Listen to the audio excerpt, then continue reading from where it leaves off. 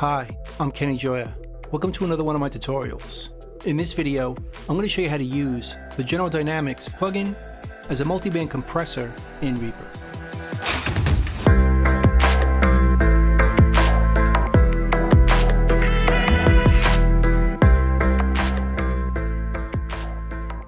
Now what we do in this video is going to work on any sound source we need. But in this video, I'm going to put it on the master 2 bus or the master track. So a project in front of me here, let's hear it.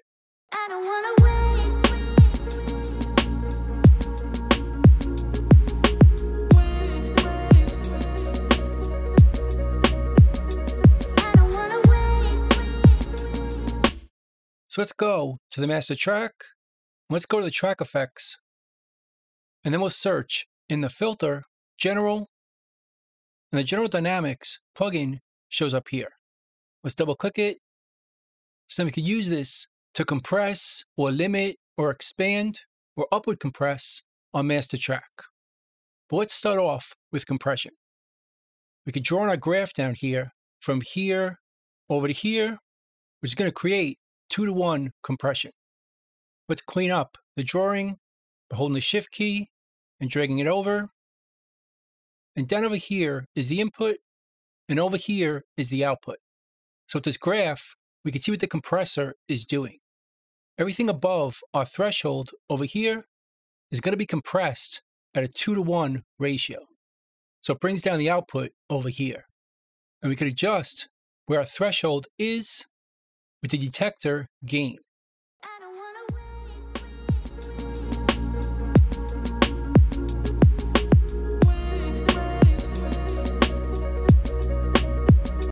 So again, everything above here is being compressed.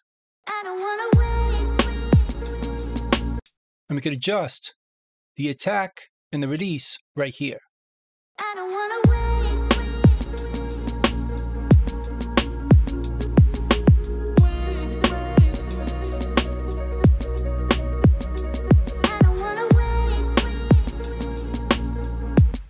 But it sounds pretty good right there but we could also add some upwards compression on this side. Let's draw from here down to here. And now everything above our threshold is going to be compressed, and everything below the threshold is going to use upward compression, or it's going to bring up the level. Like this.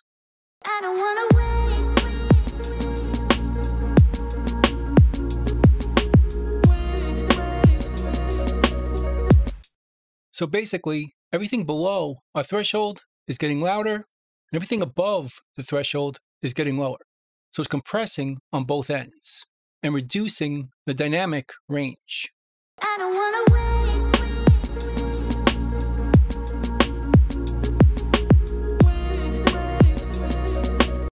But if you notice, we're kind of hearing the artifacts. It's pumping and breathing and sounds a bit too squashed. So we can make this sound smoother if we change this to a multi-band compressor, which means compressing each band in the frequency separately. So let's start by turning off this one, and let's add another plugin. Let's search split, and we can add a splitter to our effects chain, three band, four band, or five band. Let's keep it simple and use the three band. Double click it, and this is going to split our frequencies into three separate parts, low, mids, and highs. And if we play it right now, we're just going to hear the lows. Everything else is filtered out. So we need to put it back together separately. Let's add another plugin, and let's type in join. And now we can add the plugin three band joiner. we put this after the splitter, to put our frequencies back together, low, mids, and highs. But in order to make this work, we need to add more channels. So let's go to the pin connector over here and change this from two channels to six. So one and two are the low channels, three and four are the mids, and five and six are the highs. So if we play it now, we hear all the frequencies. our low, our mids, and the highs. And we can also choose our crossover point in the splitter plugin. Right now it's set to 200 hertz and 2 kilohertz. So everything below 200 hertz is the low end.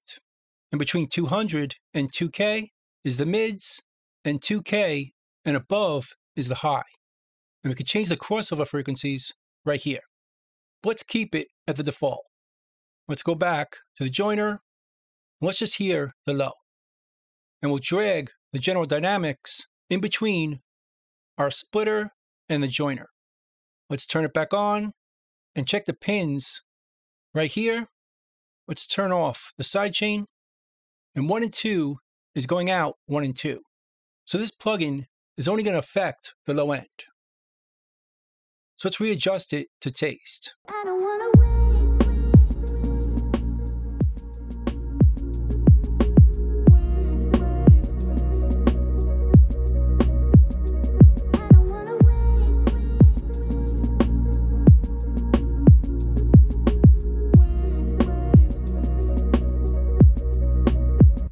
Sounds pretty good right there. So let's duplicate it by copying it and pasting it and set the second one to the mids. Let's just hear the mids, go to the pins on the second one and change it to come in on three and four and go out three and four. So we're just going to hear this plugin on the mids. So let's readjust this to taste.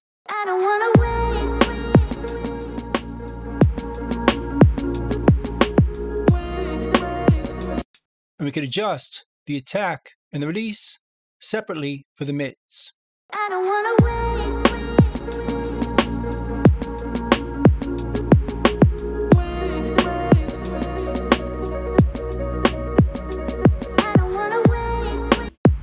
Let's do the same thing with the highs. Copy it and paste it. Change the pins to come in on 5 and 6 and go out 5 and 6. So it's just affecting the highs. And let's just hear the highs only.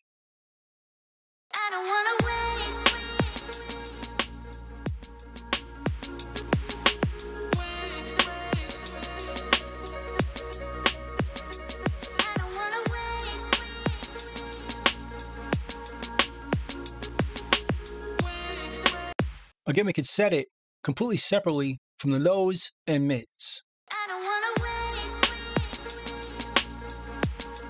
And we could blend it back together with the joiner plugin. Our lows, our mids, and our highs. And we could also readjust their volume to taste.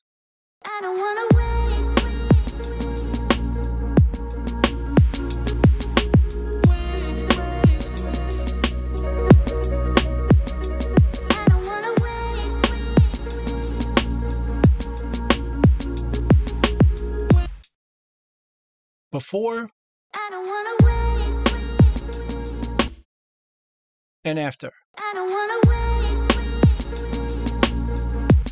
And because we separated each compressor downward and upward on their own frequency, it tends to sound smoother, as each frequency is being adjusted separately.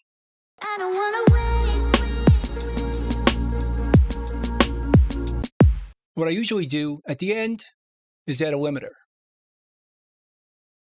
like the event horizon, and just add a few dB of limiting.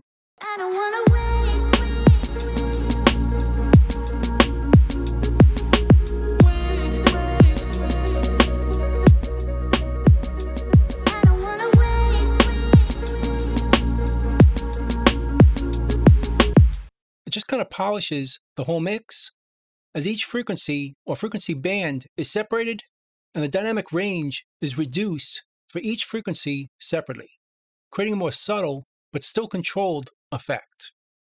Again, before and after.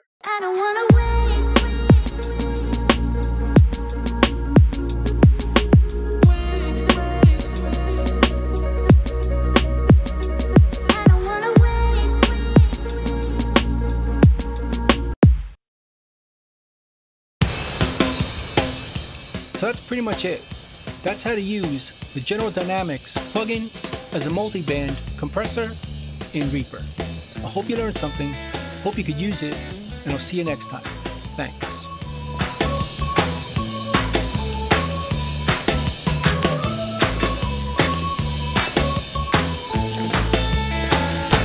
Bingo, boys, let's go.